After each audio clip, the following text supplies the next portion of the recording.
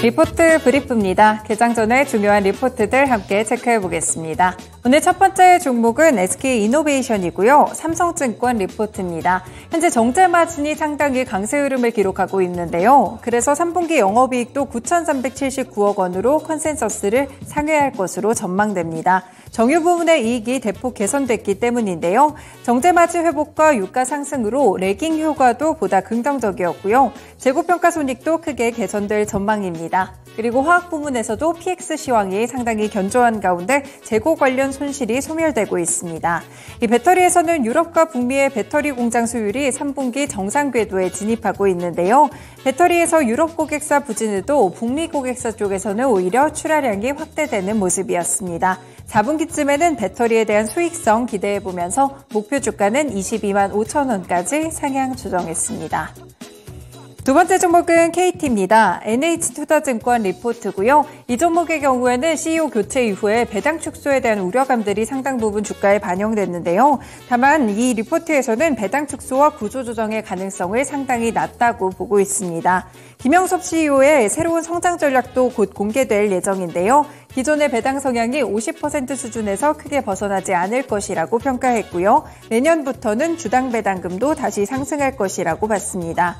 디지털 전환과 ICT의 역량을 강화하게 된다는 점을 조금 더 포인트로 보시면서 통신 본업 내 성장을 하고 클라우드, AI, mobility, smart city 같이 신사업에도 적극적으로 투자할 것으로 보이고 있습니다. 이제 시작이다라는 평가를 내놓으면서 목표 주가는 4만 4천 원까지 상향 조정했습니다. 세 번째 종목은 현대제철입니다. NH투자증권 리포트고요. cost push로 제품 가격 인상이 가능할 것이라고 봤는데요. 3분기에는 영업이익 2,310억 원으로 전년보다 38% 감소하면서 컨센서스를 하회할 것으로 예상됩니다. 현재 3분기 평균 주요 원재료의 가격은 견조했는데 주요 제품 가격이 하락하면서 roll마진이 악화될 것으로 예상하는데요. 이 가격 전가를 그래도 앞으로는 기대해 볼 수 있겠습니다. 철광석은 현재 20% 그리고 원료탄은 30% 정도 가격이 상승한 구간인데요. 일단 중국의 고로 가동률도 상승하고 재고는 감소하는 상황입니다. 앞으로 가격 전가가 충분히 가능할 수 있을 것으로 판단하고 valuation 역시나 부담스럽지 않은 수준이라고 봤습니다. 이에 따라 목표 주가는 4만 8천 원까지 상향 조정했습니다.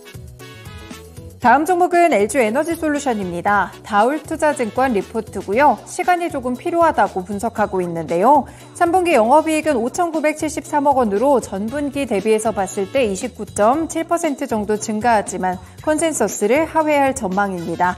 판가 하락과 출하량 감소의 영향인데요. 1분기와 유사한 수준의 이익률을 낼 것이라고 봤고요. 지금 중대형 EV는 얼티엄 셀즈 1공장이 파업을 들어가게 되면서 가동률이 크지 못하고 소형 전지는 일시적으로 출하량이 감소하고 있습니다.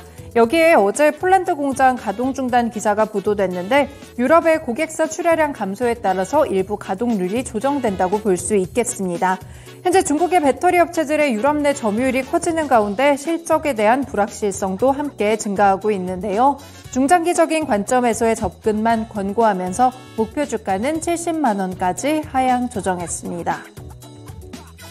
네, 마지막 종목은 SBB테크 체크해봅니다. 메리츠증권 리포트고요. 어, 일단 협동 로봇 시장이 상당히 기대감을 받고 있죠. 오늘까지 일반 청약이 진행되는 두산 로보틱스의 상장 영향인데요. 어, 일단 하모니 감속기를 하고 있는 기업입니다. 이 감속기 부문은 SBB테크의 매출 비중 가운데 45%를 차지하고 전방 수요의 70% 이상이 방산 사업에서 나오고 있습니다. 성장 동력이라고 평가를 했고요.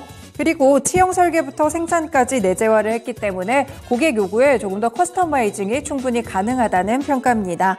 기술과 가격 경쟁력을 갖춘 상태인데 여기에 계열사들이 원재료를 매입할 때 공동 구매를 할 수 있기 때문에 원가율 개선까지 기대해 볼 수 있겠습니다.